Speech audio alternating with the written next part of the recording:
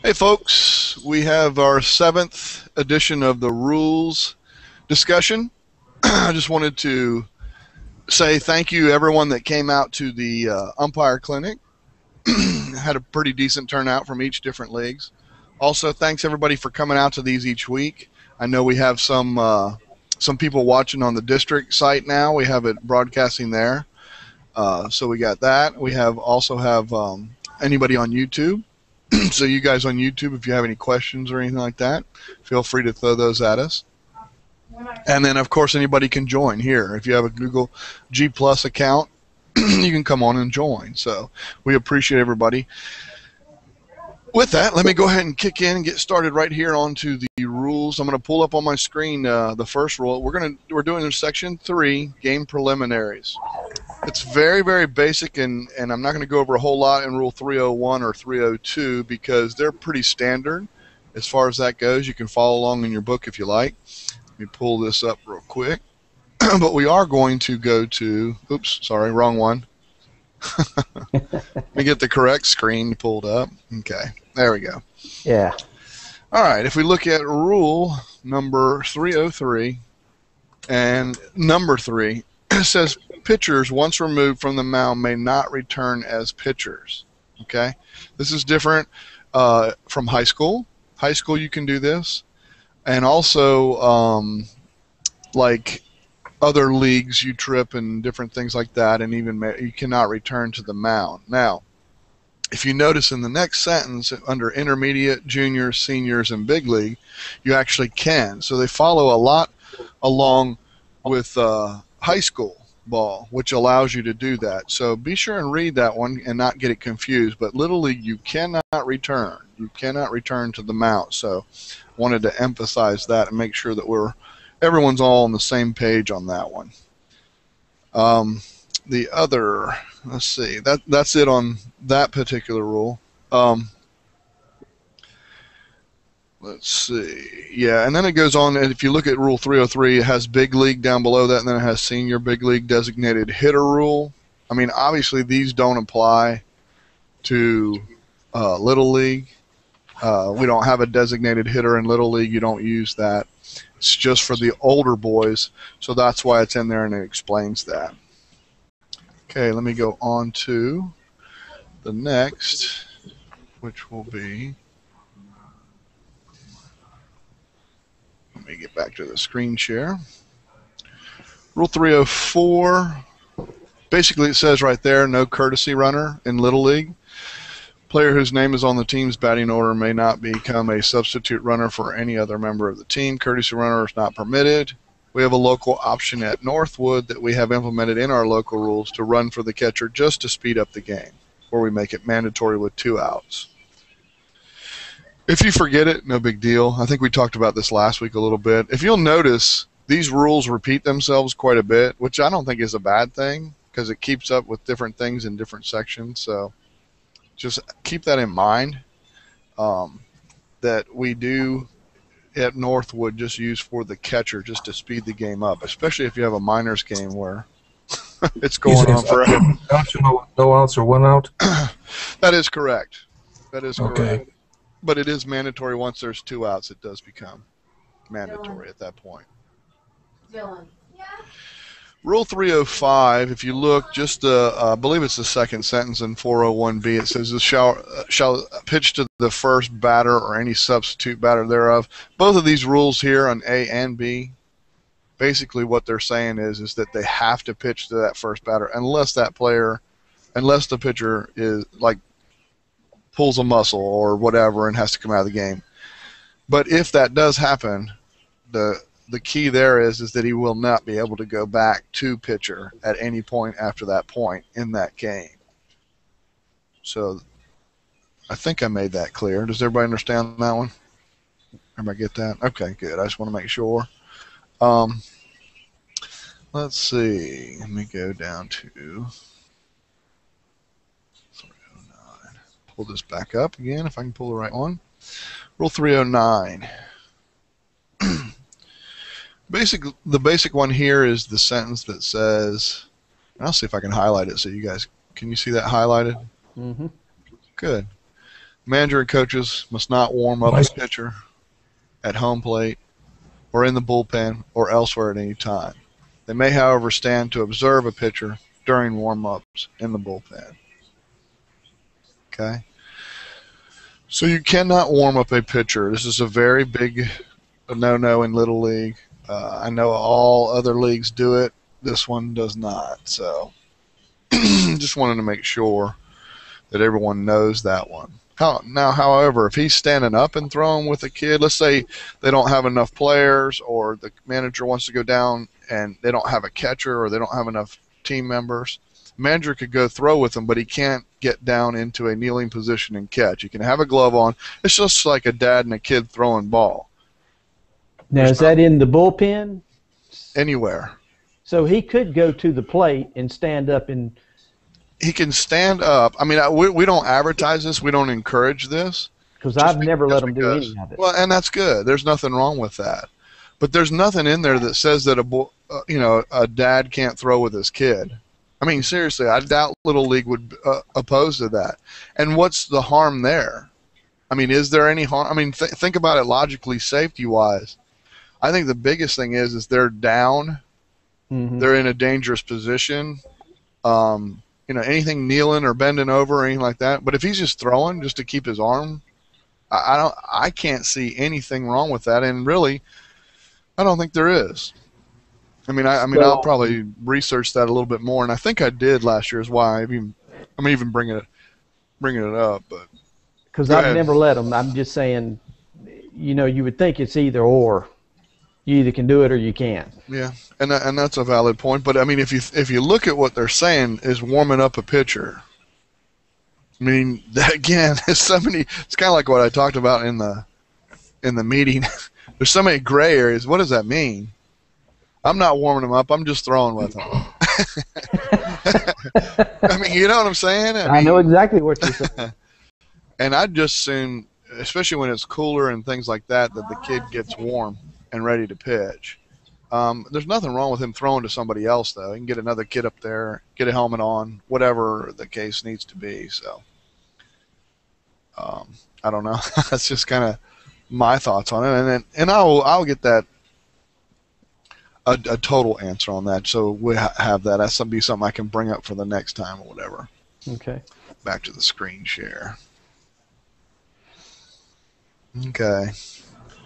Rule number 310 under B. Basically, under A, it's saying that the uh, m- both managers must agree on the fitness of the field.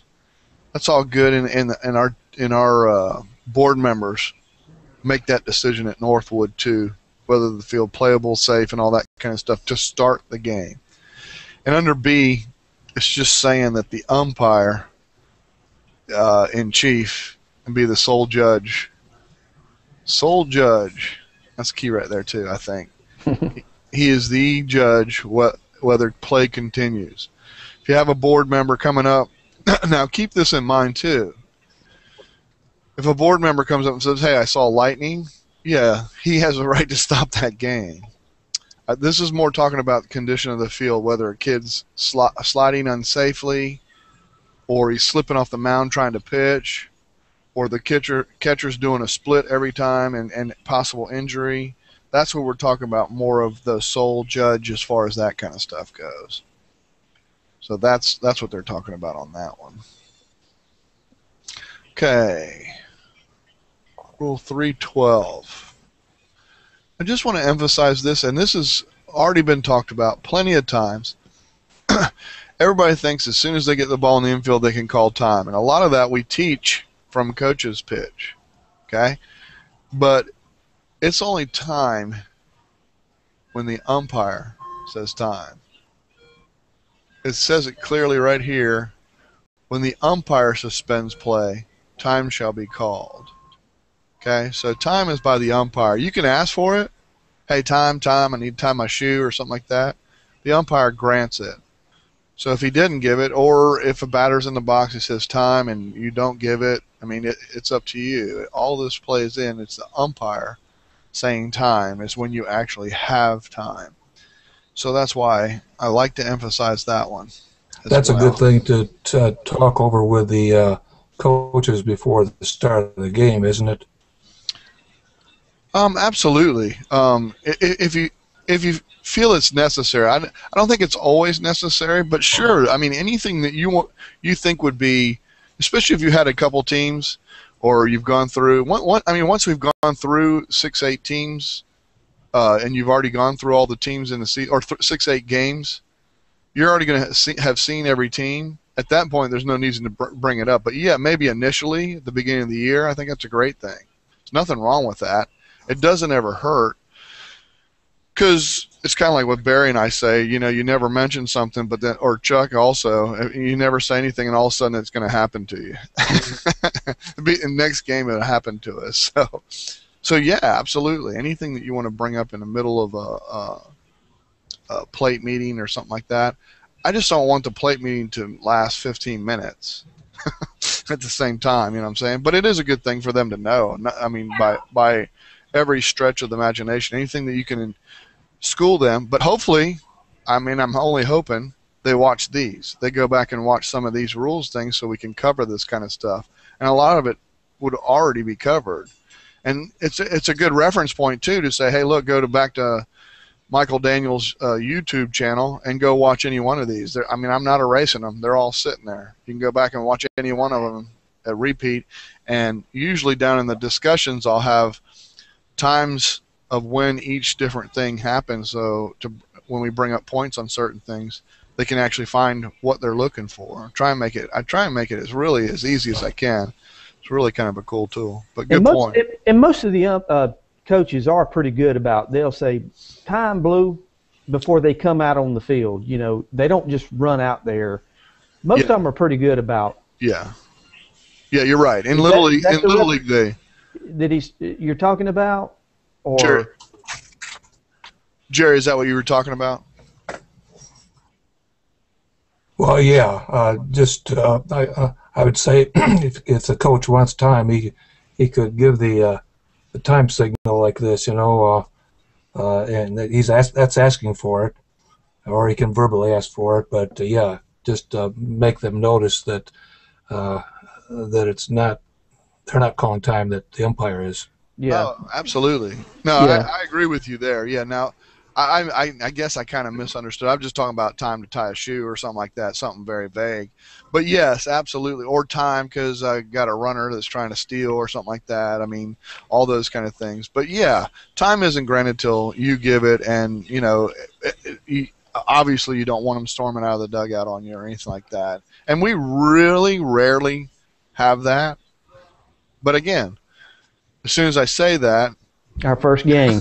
first game, opening day, we'll have somebody that uh, unloads on us. So, all right, does that answer pretty much what you got there? Let me. Uh, Yep. All right, I'll go on to. Let me lock on to. Here we go. Okay, so Rule three fifteen. We allow um, photographers out on the field. These guys, these are we do a yearbook at the end of the season every year. So we allow photographers, one from each team. Um, and it, it can be more than one person. That's fine. But the thing is, is they need to be past the door, way down, the opening door where you come into the fields, and they need to be down there and out of along the fence, etc. There is no dead ball area. This rule covers it right here. Um, it's no person shall be allowed. It says that it was set for the photographers. That's why I highlighted the uh, photographers.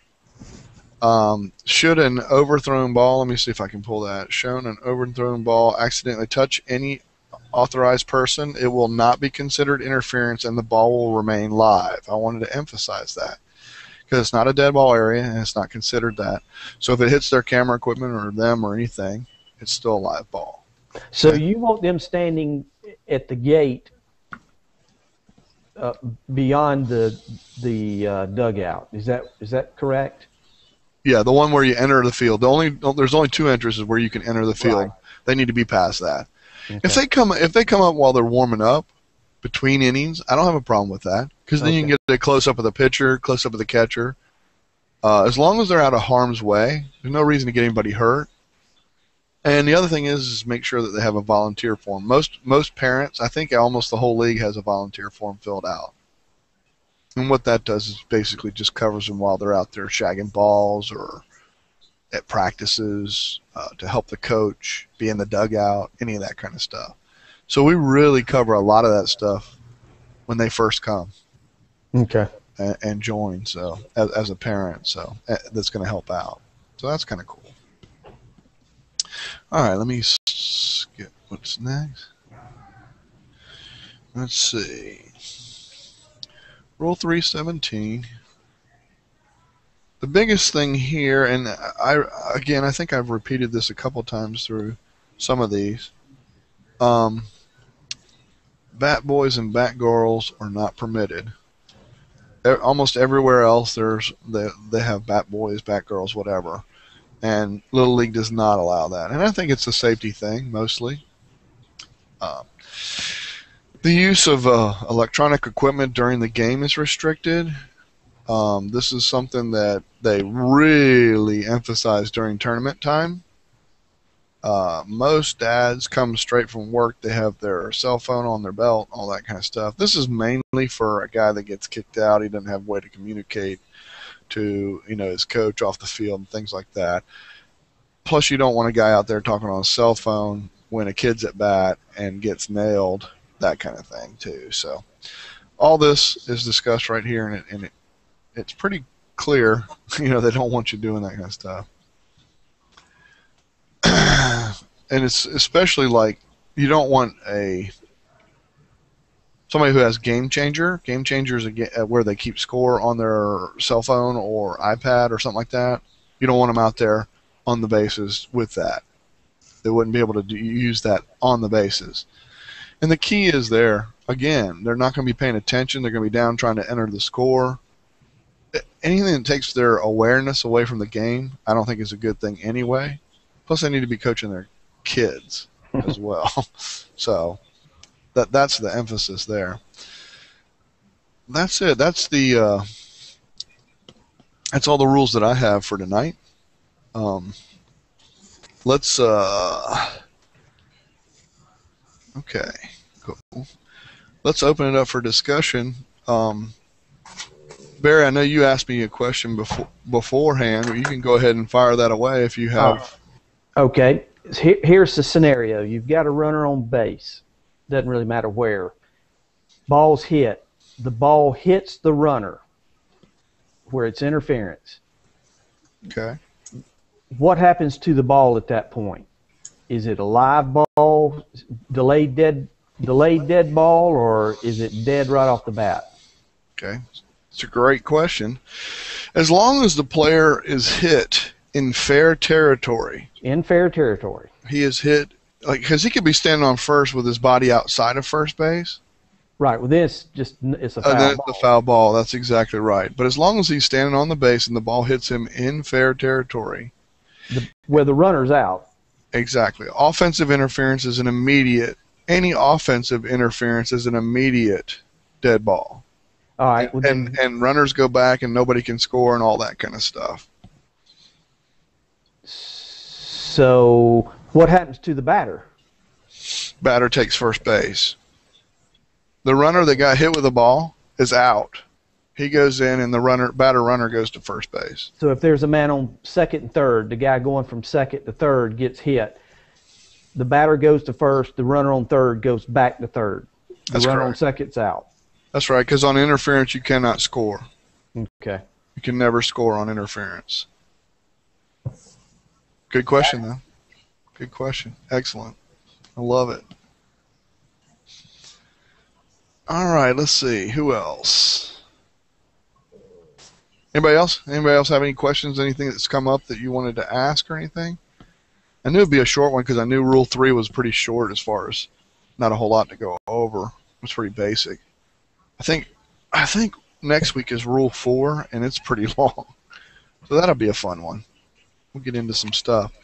One thing I will say, if you guys do do any scrimmages, or anybody has any scrimmages, or any managers that that are out there that want to send in um, a, a request for questions to be asked on here, we can do that too. I mean, some people are just too shy; they don't want to get out here and do it. I don't have a problem with that. Just come on, ask us questions. We'll be glad to answer. whatever, whatever you like. I'm I'm all for that because it, any kind of uh, any kind of uh, engagement or we can sit there and discuss. At least I know that people are involved and they want to know the right thing. So that's that's the whole reason why I'm doing this. So if we can get this and get people to do this, that'd be great. So, all right. What have else? The, have the schedules been set yet? The game schedules have been. The game schedules are done. As far as umpire schedule, I put it right on the game schedule. So um, I let me let me see if I can pull that up so you can kind of get an idea of what it looks like. Um, Chuck and Barry already know this, so let me go to okay game schedule, and I'll screen share it as soon as it comes up.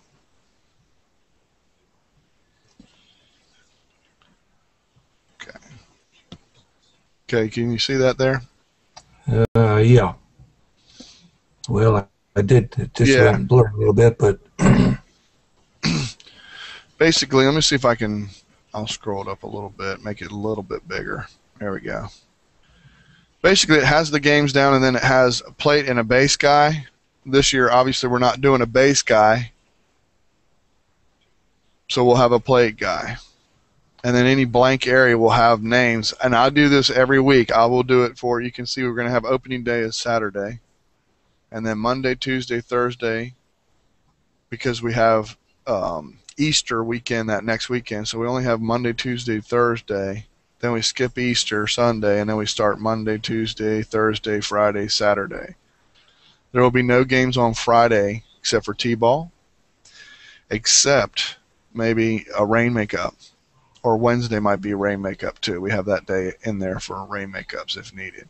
So that's the way the schedule is. Your name will be right here off to the side. You can see me putting the little blue squares out there that's uh, where your name will be and you look just look at this page i will share this page with all of you so you can look at it any time it's a public thing anyway it'll be on northwood's website which is northwoodbaseball.com um, so this will always be posted and out there and i'll make notes of these things so you guys can have it uh, so you can reference back to this if you want to come back to this uh, youtube video because that's the way it's going to save as a YouTube video. Um, and you can see, you'll be able to see uh, exactly um, that. so it's out there now. If I go to northwoodbaseball.com, Should be, okay. should be, yep. Yep, should be. Um, I, I believe they've got the new one on there. It might have the old one on there, but uh, opening day is very soon. It's like the 21st, I believe. We're having it at Eastside High School. And then the 23rd is our first Saturday of games. So, yeah, it's going to be really neat. Uh, first time this year we're trying that is the opening day at Eastside after the Eastside Riverside game. Then all the kids are going to line up and do the parade and come out there and stuff. So it should be should be for a lot of fun. I- Hopefully, a big money maker for Eastside and Riverside too. So get some get some draw there from kids that'll be playing there eventually. you know. So Just, I, I do have another. This is, I, I mean, I've been a plate umpire, but what what are some of the basic stuff you cover at home plate? Give me a, an example of how I can answer that. I mean, there's a lot of stuff to cover, but oh, you mean talking about at the meeting? Yes. Oh, okay, the, the plate meeting. Yes. when I do a plate meeting, what I like to do is I first off I like to say, you know, hey guys, we do the little league pledge. You always do the Yes. little league pledge. Um, after that, coaches come here for a second. I take their lineup. I said, this this is the lineup you have. Is everybody here? And you Okay. check for the pictures. Yep. Check for pitchers, val- uh, available pitchers. That's exactly right. And then if this if he says, hey, look, that number, that guy in the five spot is not here yet, but I I'm gonna go ahead and start him because um uh he's he's on his way. He's in traffic. That's usually when I say, let's just move him down the end then. Let's go ahead and move him down the end because I don't want anything to come up. Even though you skip them, it doesn't really matter. In Little League, you don't call an out You always skip them, so it really doesn't. But but I I solved that right there. Mhm. Okay. The other thing that I do at the plate meeting is I verify um, that they only have players and uh, coaches in the dugout. If they have their scorekeeper in there or someone in there to watch the kids while there's two coaches on the bases, that's perfectly fine. As long, even if you know some one of the dads didn't show up, one of the assistants isn't there, that's fine. Go ahead, throw a dad in there to ki- watch the kids. Someone has to stay in the dugout at all times. So that's when I emphasize that. The other thing is, I say start time is you know whatever time it is right now. It doesn't matter. We have a dead hard stop at seven. Oh, what's that? I'm sorry. Did you ask a question? I'm sorry. Who me? No, That's I, it. Oh. My audio went out. You you said you verify what at, at the home plate? uh, well, I don't know which part when it uh, went out, but I verify the the pitchers that are going to be pitching. I verify that they're going to have uh, three coaches in the dugout. What else did I say? Oh, that's it. Okay. Yeah. Yeah, because you have to have somebody in the dugout at all times with the kids. Okay. And a dead stop at an hour and a half. Yeah, I, I let them know that there's a dead hard stop at seven, not in an hour and a half. Because if they start at five thirty-eight, it's Yeah. a dead hard stop at seven. Because we have to be able to get 15 minutes to be ready to start at 7:15 for the later games. Right. That changed this year, 7:15. So 7:15 to a dead hard stop at nine at night. There's no give me's or anything. It's dead hard stopping. And this is at Northwood. So anybody out there watching in the district, yours may be different and that kind of stuff. So I have to clarify that. But this is at Northwood what we have. So the first game starts at 5:30, Supposed to, yes. and the second game starts at 7:15. Yes, supposed to. But if it doesn't, it doesn't matter. The dead hard stops are still dead hard stops. So the second game really gets an hour and 45. hour and a half, isn't it? Seven fifteen. No, you're right. Yeah, you're right. Yeah, it does.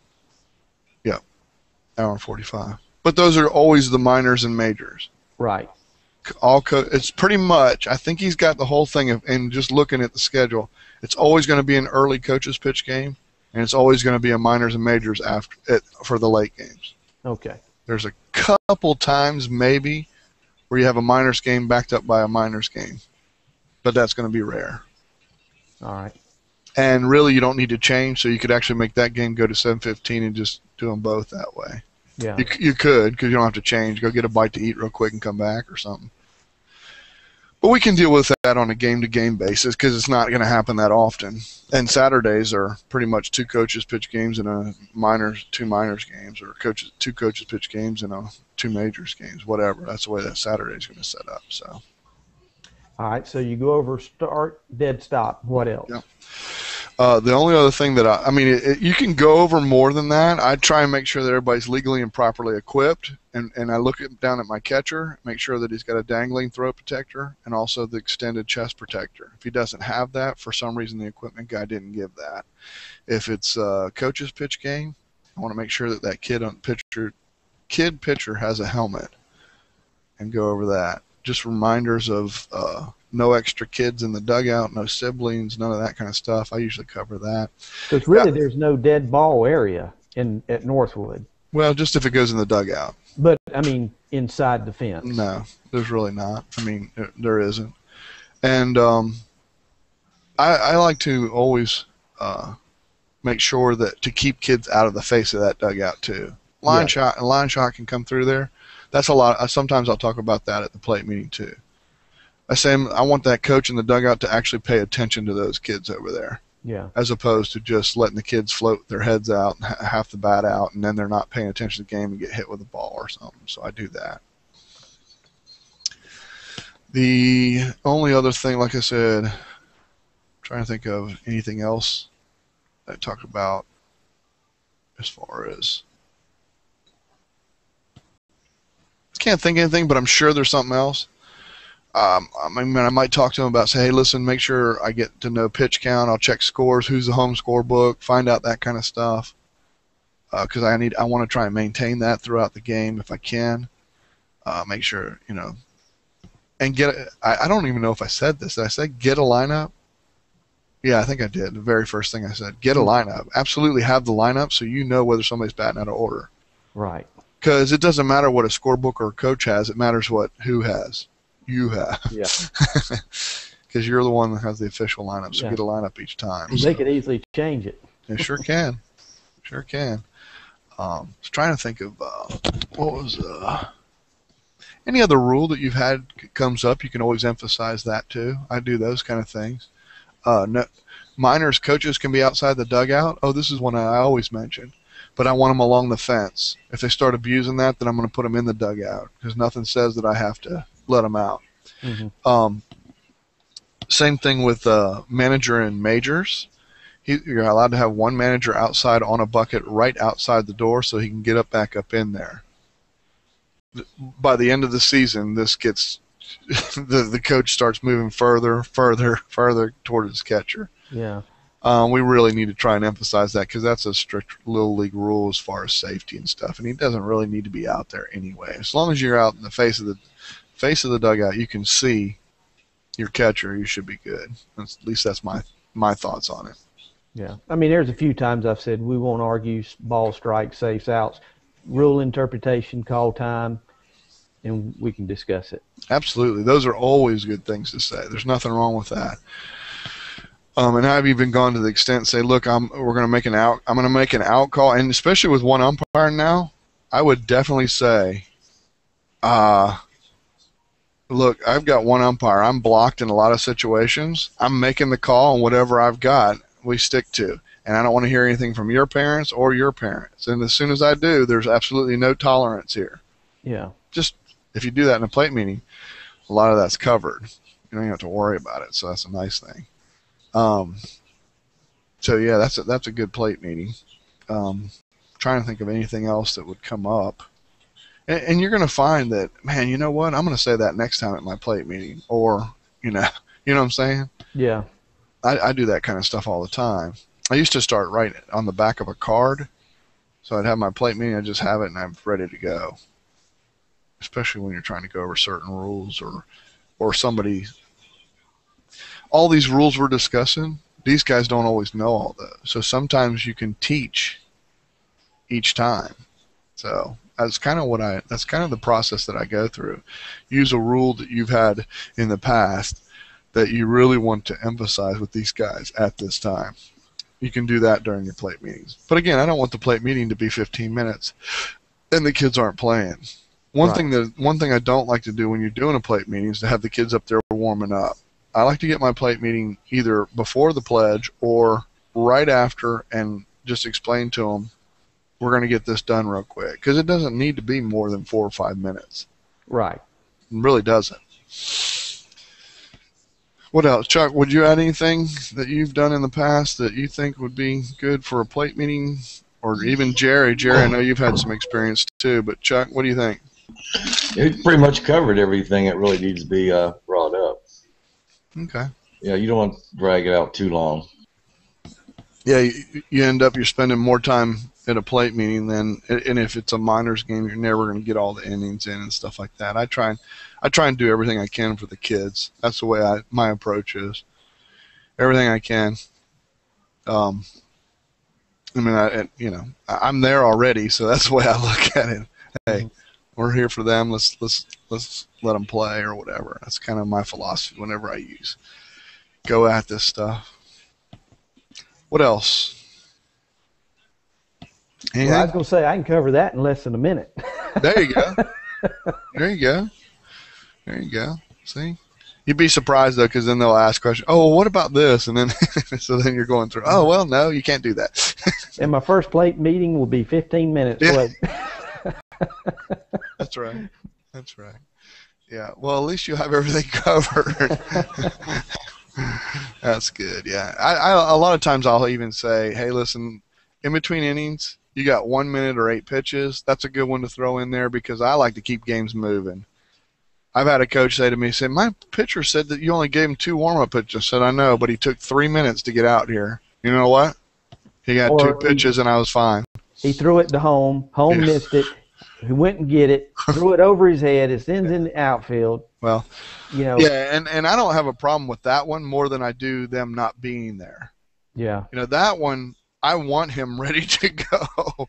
The one that's always gets me is the in, in minors the catcher. It it always takes forever. yeah, exactly. That's why I made the point of two outs mandatory. Yeah. But for And it doesn't always help because sometimes he's on base or whatever. or he's he's next up to bat. Yeah, that's right. So anyway, what else? Anybody got? Anybody have anything else? We're good? I'm sure I'll think of something tomorrow. That's fine. All right, I'm going to end the broadcast, but if you guys will stay in the green room with me afterward, that'd be fine. I'll let you know when it has ended. Thanks, everybody. See you next week.